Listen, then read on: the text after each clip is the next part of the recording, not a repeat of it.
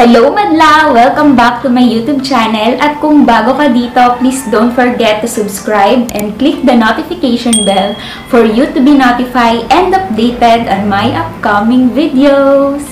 For today's video, itutuloy natin ang batch 2 ng aking high protein meal ideas and this time mas padadaliin natin ang mga recipes. So in this video, I will share you 4 quick meal ideas na napaka-common ng mga ingredients and madaling makikita sa supermarket and grocery stores. I'm pretty sure madla na madadagdag nyo to sa diet meal plan nyo, lalo na sa mga nahihirapan ng mag-isip kung ano pa yung kakainin nila while they're on diet. Ang hirap, di ba? Pero syempre, padadaliin natin to para sa weight goal nyo. Alright, simulan na natin to. So, stay tuned and please keep on watching.